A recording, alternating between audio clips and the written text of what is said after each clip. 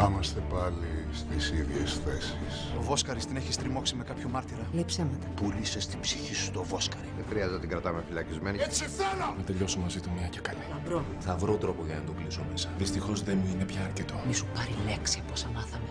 Ούτε τη σκέψη σου δεν πρέπει να ακούσει. Άγριες μέλισσες. Πατέρα. Αύριο στις 10 το βράδυ. Δεν ανέχω